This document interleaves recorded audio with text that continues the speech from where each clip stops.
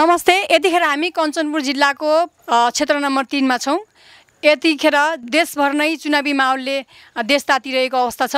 त्यो बिचमा रहेर हामी यतिखेर कञ्चनपुर जिल्लाको क्षेत्र नम्बर तिनमा जहाँ मतदाताको सङ्ख्या चाहिँ एकदम बढ्दो सङ्ख्यामा छ।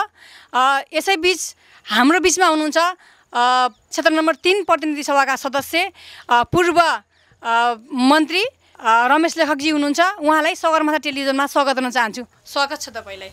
धन्यवाद। तपाईँ प्रतिनिधि सभाको सदस्यको उम्मेद्वार पनि हुनुहुन्छ। पूर्व भौतिक तथा पूर्वाधार मन्त्री पनि बनिसक्नु भएको हो। तपाईँका चुनावी मूल एजेन्डाहरू के के छन् त?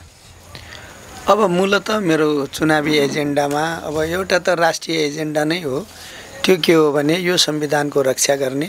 सङ्घीय लोकतान्त्रिक गणतन्त्रात्मक शासन व्यवस्थाको सुदृढीकरण गर्ने समावेशी चरित्रको राज्य निर्माण गर्ने जुन हाम्रो उद्देश्य छ त्यसलाई सशक्तिकरण गर्ने यी राष्ट्रिय एजेन्डा हुन् भने स्थानीय स्तरमा विकासका एजेन्डा छन्। र मैले के भन्ने गरेको छु भने राजनीति के का लागि गर्ने राजनीति विकासका लागि विकास समृद्धिका लागि भन्ने गरेको छु। त्यस कारण यो क्षेत्रमा ठुल्ठुला योजनाहरूका साथसाथै अरू पनि जुन समस्याहरू छन् ती समस्याहरूलाई पनि समाधान गर्ने एउटा स्पष्ट धारणा र दृष्टिकोणका साथ मैले आफ्नो एजेन्डा राखेर अगाडि बढिराखेको छु। तपाईँ भौतिक पूर्वाधार मन्त्री पनि भइसक्नुभयो। होइन? अब तपाईँलाई कञ्चनपुरका जनताले किन तपाईँलाई मात्रै मत दिने त? म सांसद पनि भएको छु यहाँबाट। यहाँका दिदीबहिनी दाजुभाइहरूले मलाई अपार स्नेह माया र सहयोग गर्नुभएको छ। म यहाँले भन्नुभएको जस्तो पहिला श्रम मन्त्री पनि भएको हो। त्यसपछि भौतिक पूर्वाधार मन्त्री पनि भएको हो। र मैले पटक पटक मन्त्री र सांसद हुँदा देश र यस क्षेत्रका लागि यस ठाउँका लागि मैले विभिन्न कामहरू गरेको छु। जस्तो यहाँले भौतिक पूर्वाधार मन्त्रीकै जुन कुरा गर्नुभयो मैले भौतिक पूर्वाधार मन्त्री हुनुभन्दा पहिला यो ठाउँमा एउटा ठुलो योजनाको कुरा अगाडि सारेको छु त्रिदेशीय नाका भनेर मैले भनेको छु। यो ठाउँमा कञ्चनपुर जिल्लाको यो ठाउँमा एउटा ठुलो व्यापारिक पर्यटकीय धार्मिक नाकाका रूपमा यो ठाउँलाई विकास गर्न सकिन्छ भन्ने उद्देश्यका साथ म अगाडि बढेँ र म मन्त्री भएको बेला महाकाली नदीमा यो देशकै सबैभन्दा ठुलो पुल निर्माण गर्ने काम भयो। त्यो पुल निर्माणको उद्देश्य नै यो ठाउँमा दोधरा चाँदनीमा सुक्खा बन्दरगाह बनाउने र नेपालसँग भारतलाई व्यापारिक रूपले धार्मिक नाकाका रूपमा र पर्यटकीय नाकाका रूपमा जोड्ने र त्यसका सँगसँगै त्यही नाकाका साथसाथै महाकाली नदीको किनारा किनारामा कञ्चनपुरको यो ठाउँबाट डडेलधुरा डडेलधुराबाट बैतडी बैतडीबाट दार्चुला हुँदै मित्र राष्ट्र चिनको सिमानासम्म मानसरोवरको नजिक लगेर जोड्ने गरेर तिनवटा देशको एउटा ठुलो नाकाका रूपमा विकास गर्ने नेपाल भारत र नेपाल चिनको बिचमा विकास गर्ने उद्देश्यका साथ म अगाडि बढेँ। त्यसमा के कामहरू भए? तर दुर्भाग्य के भयो भने पाँच वर्ष पहिला म निर्वाचन पराजित भएँ। नेपाली काङ्ग्रेस पराजित भइसकेपछि म पनि पराजित भइसकेपछि यी सबै कामहरू रोकिएका छन्। पाँच वर्षमा ती कामहरू अगाडि बढ्न सकेनन्। हो त्यो तिन देशको नाकाको विषयलाई पूर्णता दिनका लागि सम्पन्न गर्ने मेरो एउटा पहिलो राजनीतिक एजेन्डा उद्देश्य विकासको एजेन्डा उद्देश्य हो भने यो ठाउँमा डुबानको ठुलो समस्या छ।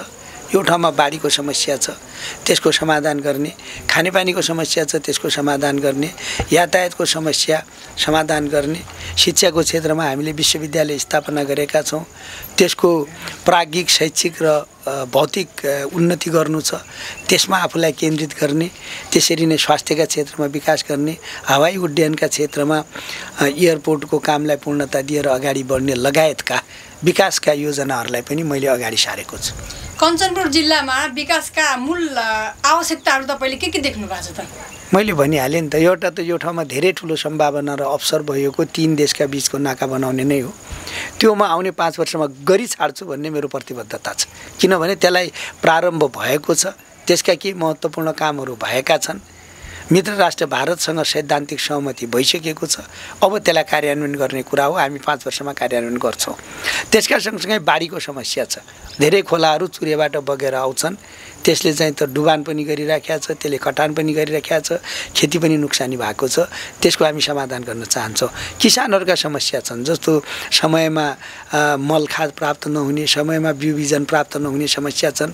त्यसको पनि हामी यो पाँच वर्षमा स्थायी रूपले समाधान गर्नेतर्फ जान्छौँ। यातायातका समस्याहरू छन् शिक्षाका स्वास्थ्यका क्षेत्रमा जुन आवश्यक गर्नुपर्ने कामहरू छन् ती कामहरू गरेर हामी अगाडि बढ्छौँ। जनताहरूले जति जतिखेर चुनाव आउँछ त्यति त्यतिखेर मात्रै हामीलाई एउटा भोट ब्याङ्कको रूपमा प्रयोग गर्छन् नेताहरूले भनेको बाचाहरू पुरा गर्दैनन् भन्छन्। के तपाईँलाई जनताले मत दिएर जिताएपछि तपाईँ त्यो जनताको मतको कतिको कदर गर्न सक्नुहुन्छ त? मैले भनिहालेँ नि त म मेरा बारेमा यो कुरा यहाँले भन्नुभयो जस्तो हुँदैन। मलाई एउटा के विश्वास छ भने कञ्चनपुरको तिन नम्बर क्षेत्रका दिदीबहिनी दाजुभाइहरूले मसँग गुनासो जरुर होला। धेरै कामहरू नभएका होलान् धेरै समस्याहरू छन् ती समस्या सबै समाधान नभएका होलान्। तर मैले आफ्नो वाचनै पुरा गर्ने आफ्नो वचनबाट पछाडि हट्ने अथवा केही पनि नगर्ने भन्ने रूपले मलाई कसैले पनि त्यसरी चिन्दैन।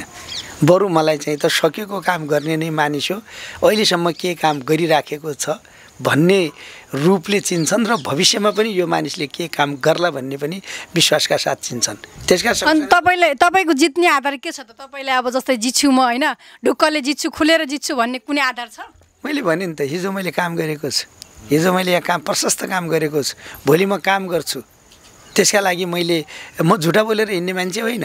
म यो देशमा पानी जहाज चलाउँछु भन्ने मानिस होइन। म यो देशमा चिन र भारतबाट रेल ल्याउँछु भन्ने मानिस होइन। म सबै दाजुभाइ दिदीबहिनीका घरका भान्सामा ग्यासको पाइप पुर्याउँछु भन्ने मान्छे होइन। मैले तिन नम्बर क्षेत्रमा कञ्चनपुर जिल्लामा जे गर्न सकिन्छ त्यो भनेको छु र त्यो गर्ने कुरा अगाडि बढाएको छु। अहिले त झन् हामी गठबन्धनबाट चुनाव लडिराखेका छौँ। अहिले नेपाली काङ्ग्रेससहित पाँच दलको गठबन्धन छ। त्यो गठबन्धनले भोलि केन्द्रमा सरकार बनाउँछ प्रदेशमा सरकार बनाउँछ र हामी यहाँका सबै समस्याहरूको समाधानका लागि अगाडि बढ्छौँ। त्यो हाम्रो हामीलाई त्यो हिम्मत छ। यहाँका दिदीबहिनी दाजुभाइहरूलाई त्यो विश्वास छ। अनि तपाईँले पाँच दलीय गठबन्धन त गर्नुभएको छ। कहाँ क काङ्ग्रेसको सिद्धान्त कहाँ एमाले के अरे के अरे जस्तै माओवादीको सिद्धान्त तपाईँको त सिद्धान्तै मिलेन। तपाईँले कसरी गठबन्धन गर्नुभयो त? होइन हामी हामी सिद्धान्तको झगडामा अहिले छैनौँ। हाम्रो अहिले मूल एजेन्डा भनेको यो संविधानको रक्षा हो। हाम्रो मूल एजेन्डा भनेको सङ्घीय लोकतान्त्रिक गणतन्त्रात्मक शासन व्यवस्थाको रक्षा हो। संविधानको रक्षा र यो व्यवस्थाको रक्षा हामी दुइटैको एजेन्डा हो। साझा एजेन्डा हो। त्यस कारण त्यसमा हाम्रो कुरा मिलेकै छ। किनभने यो संविधान पनि हामीले मिलेर बनाएको हो यो व्यवस्था पनि मिलेर ल्याएको हो। यसको रक्षा हाम्रो मूल मान्यता भइसकेपछि त कुरा मिलेको नि। त्यसपछि सिद्धान्तमा गएर झगडा गर्नुपर्ने कुनै कारण छैन। मुलुकको जे आवश्यकता छ त्यसमा हाम्रो सहमति छ। जनताहरू भन्नुहुन्छ कि नेताहरूले आफ्नो पदको लागि जेसुकै पनि गर्न सक्छन् भन्ने जुन जनतामा आम जनताहरूमा जुन एउटा नकारात्मक सोच छ नि त्यो विषयमा तपाईँ जनतालाई के भन्न चाहनुहुन्छ? आफ्ना लागि नेताले जेसुकै पनि गर्न सक्छन् भनेर भनिएको मान्य केपी शर्मा ओलीजीका लागि हो।